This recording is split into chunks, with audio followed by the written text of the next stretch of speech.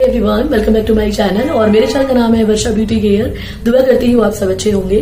दोस्तों, आज मैं आपसे शेयर करने जा रही हूँ ऐसी कुछ यूजफुल टिप्स जिसकी हेल्प से आप अपने अंडर आर्म्स को घर बैठे ही क्लीन कर सकते हो और वो भी सिर्फ़ दो चीज़ों की हेल्प से और कैसे आप अपने अंडर आर्म्स का कालापन दूर कर सकते हो। वो भी सिर्फ़ दो चीज़ों की हेल्प से। जी हाँ आज मैं सिर्फ़ दो ही आपको स्टेप यहाँ पर बताऊँगी जिससे आप अपने अंडर आर्म्स को क्लीन कर सकते हो, उनका कालापन दूर कर सकते हो। और आज की वीडियो एक रिक्वेस्टेड वीडियो है। मेरी बहुत ही प्यारी सब्सक्राइबर है। उन्होंने रिक्वेस्ट की थी इस वीडियो की। तो चलिए दोस्तों देख लेते हैं। और साथ ही साथ अगर आप मेरे चैनल पर पहली बार आए हैं तो स्वागत है आपका मेरे चैनल पर। और गाइज़ अगर आपको मेरे वीडियोस अच्छे लगते हैं तो प्लीज़ मेरे चैनल को सब्सक्राइब कर लीजिए और साथ में जो बेल बटन इसे प्रेस कर दीजिएगा ताकि आपसे मेरी कोई भी न्यू वीडियो मिस ना हो। तो चलिए फ्रेंड्स देख लेते हैं। आज मैं आपको दो तरीकों से अंडर आर्म्स को शेव करने का बताने जा रही हूँ कि आप अपने अंडर आर्म्स को कैसे दो तरीकों से शेव कर सकते हो। फ़र्स्ट है एलोवेरा जेल या फिर आप डायरेक्ट प्लांट की एलोवेरा जेल ले लीजिए, या फिर कोई भी किसी भी ब्रांड की पतंजलि वगैरह की एलोवेरा जेल ले लीजिए, उसकी हेल्प से भी आप अपने अंडर आर्म को शेव कर सकते हो। सेकंड मैं आपको यहाँ पर बताने जा रही हूँ कंडीशनर जी हाँ जो कंडीशनर हम अपने बालों में यूज़ करते हैं, वही कंडीशनर से हम अपने अंडर आर्म्स को भी शेव कर सकते हैं, जो कि बहुत ही ईजी होता है, और इसकी हेल्प से आपकी स्किन भी काफ़ी स्मूथ और सॉफ्ट हो जाती है, जैसे कि एलोवेरा जेल के बाद होती है। सो मैं यहाँ पर लेने जा रही हूँ पैंटीन का कंडीशनर और इसकी हेल्प से मैं आज अपने अंडर आर्म्स को शेव कर आपको दिखाने वाली हूँ। जी हाँ ये बिल्कुल सेफ़ तरीका है और इसकी हेल्प से आप अपने अंडर आर्म्स को इजिली शेव कर सकते हो कोई, कोई नुकसान नहीं है कोई साइड इफ़ेक्ट नहीं है। तो चलिए देख लेते हैं। सबसे पहले मैं यहाँ पर ले रही हूँ एक बेबी वाइप्स और इसकी हेल्प से मैं अपने अंडर आर्म्स को क्लीन करूँगी। तो यहाँ पर आप देख सकते हो गाइस कि आपको थोड़ी सी ग्रोथ नज़र आ रही होगी। मैंने एक हफ़्ते से अभी तक शेव नहीं की है अपने अंडर आर्म्स को।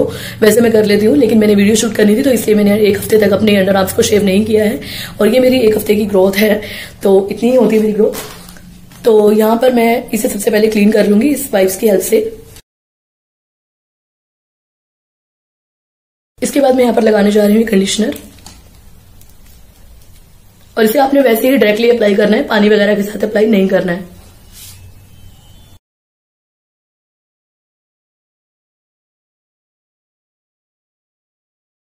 और मैं इसे शेव कर लूँगी।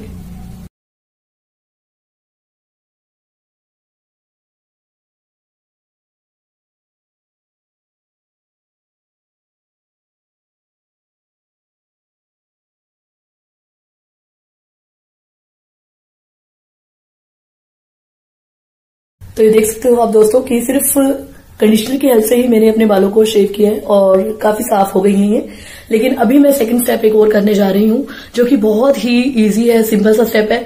और इससे आपको इंस्टेंट रिज़ल्ट भी मिलेंगे कि आपके अंडर आर्म्स का कालापन भी दूर हो जाएगा। तो चलिए दोस्तों देख लेते हैं। सो so, दोस्तों जो मैं सेकंड स्टेप करने जा रही हूँ वो बहुत ही ईजी और बहुत ही सिंपल सा एक तरीका है।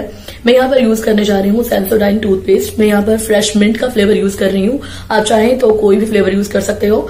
और वैसे अगर आप कोशिश कीजिए कि प्लेन में मिल जाए तो वो भी बेटर है। वैसे अगर आपको मिंट की मिल रही है तो आप ये भी यूज़ कर सकते हो। इससे क्या होगा कि अगर आपकी अंडर आर्म्स में कहीं रैशेज वगैरह होंगे हैं तो जैसे कि इसमें मिंट है तो ये आपकी अंडर आर्म्स में उस स्किन को ठंडक पहुंचाएगा और कोई भी नुकसान भी नहीं होने देगा आपकी स्किन को।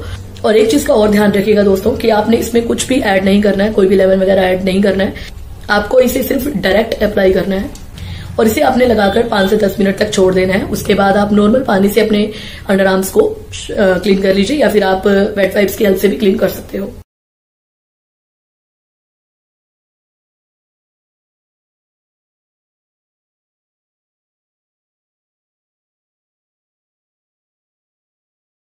तो ये देखिए, मैंने इसे अप्लाई कर लिया है और पाँच से दस मिनट तक बस आपने इसे रखना है।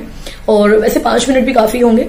तो आप पाँच मिनट भी रख सकते हो। अगर आपके पास ज़्यादा टाइम है तो आप दस मिनट भी रख सकते हो। पाँच से दस मिनट के बाद आप इसे वॉश कर लीजिए या फिर वाइप्स की हेल्प से क्लीन कर लीजिए।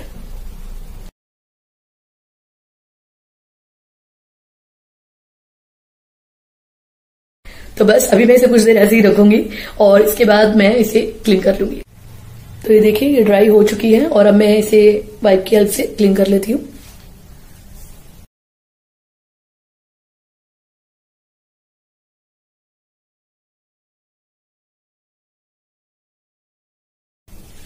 आप चाहें जैसे पानी की हेल्प से भी वॉश कर सकते हो। फ्रेंड्स इस स्टेप के बाद मैं यहाँ पर लगाने जा रही हूँ बोरो प्लस का मॉइस्चराइजर आप चाहें तो कोई भी मॉइस्चराइजर लगा सकते हैं।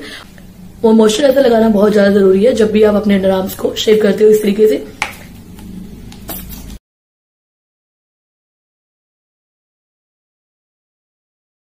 ये देखिए। तो फ्रेंड्स आप देख सकते हो कितना अच्छा रिज़ल्ट आया है। इन दो ही चीज़ों की हेल्प से आप अपने अंडर आर्म्स को कितने अच्छे तरीके से क्लीन कर सकते हो? ये देखिए। एक चीज़ और बताना चाहती हूँ दोस्तों यहाँ पर। अगर आपकी अंडर आर्म्स की ग्रोथ बहुत ज़्यादा है तो आप सीजर की हेल्प से, यानी कि कैंची की हेल्प से उन्हें थोड़ा सा ट्रिम कर लीजिए। उसके बाद आप कंडीशनर की हेल्प से अपने अंडर आर्म्स को इस तरीके से शेव कर सकते हैं, जैसे कि मैं यहाँ पर कर रही हूँ। तो देखा दोस्तों, आपने कितना आसान है अपने अंडर आर्म्स को घर बैठे बैठे ही क्लीन करना, उनका कालापन कैसे आप आसानी से दूर कर सकते हो? सिर्फ़ दो सिंपल से इजी स्टेप से, वो भी बिना पैसे खर्च किए, बहुत ज़्यादा खर्चे की करने की ज़रूरत भी नहीं है, क्योंकि हर बार हाउस वाइफ के पास इतना टाइम नहीं होता है कि वो पार्लर में जाके वैक्स वगैरह करवाए, और इतना पैसे, क्योंकि हर एरिया में पार्लर के प्राइस अलग अलग होते हैं। तो आज मैंने बहुत ही अफोर्डेबल तरीके से आपको ये दो ही सिंपल से इजी स्टेप बताए हैं, जिनकी हेल्प से आप अपने अंडर आर्म्स को शेव भी कर सकते हो और उनकी कालेपन को भी दूर कर सकते हो। तो गाइज़ आशा करती हूँ आपको मेरी वीडियो पसंद आई होगी। और हाँ दोस्तों, इससे पहले भी मैंने अंडर आर्म्स के टॉपिक पर काफ़ी वीडियोज़ बनाई हुई हैं। तो मैं आपको आई बटन पे उनका लिंक दे दूँगी या फिर डिस्क्रिप्शन बॉक्स में लिंक डाल दूँगी तो आप एक बार चेक ज़रूर कर लीजिएगा। और गाइज़ आई बटन पे क्लिक करके आप मेरी वीडियो की पूरी प्लेलिस्ट को चेक कर सकते हो कि मैंने किस किस टॉपिक पर वीडियो बनाई हुई है। आई एम श्योर आपके लिए हेल्पफुल होगी तो प्लीज़ एक बार चेक ज़रूर कर लीजिएगा। और गाइज़ आप मुझे फॉलो कर सकते हैं फेसबुक और इंस्टाग्राम पे। मैं मिलती हूँ नेक्स्ट वीडियो में, तब तक के लिए bye bye take care love you